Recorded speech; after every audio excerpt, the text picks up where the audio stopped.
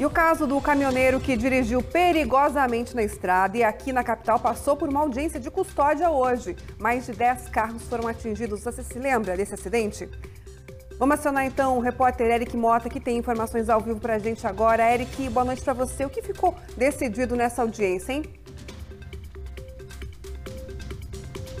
Boa noite, Simone Escola e a todos que nos acompanham. Olha, após a audiência de custódia, a prisão de Nilson Pedro dos Santos, de 35 anos, que estava, portanto, em prisão em flagrante, foi convertida em prisão preventiva. Isso, inclusive, foi alvo de um pedido do próprio Ministério Público aqui do Paraná. Nilson agora é, fica preso, portanto, até uma nova decisão da Justiça ou até o término ali de, de todo o processo policial, de toda a fase de investigação. Vale lembrar que durante o último final de semana ele dirigiu por mais de 140 quilômetros em altíssima velocidade, causando pelo menos 15 acidentes entre a BR 277 e aqui a Grande Curitiba. Agora, portanto, Nilson que confessou que ingeriu bebidas alcoólicas e também entorpecentes e só parou o caminhão após o veículo apresentar problemas mecânicos, seguirá preso até nova decisão.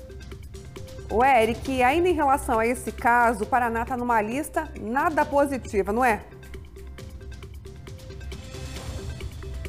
Exatamente, viu, Simone? Olha, o Paraná é, figura ali entre o terceiro estado com maior número de motoristas reprovados no exame toxicológico. O Paraná, nos últimos seis anos, teve mais de 25 mil motoristas reprovados nesse exame, o que coloca o estado atrás somente de São Paulo e Minas Gerais. Esse exame é essencial porque ele mostra se o condutor ele ingeriu de forma recorrente é, entorpecentes ilegais e, portanto, ele tira ali o risco de muitos novos acidentes acontecerem, Simone. Vale lembrar então que esses motoristas precisam fazer o exame, todos aqueles motoristas de caminhão, vans ou de ônibus a cada dois anos e meio. Eu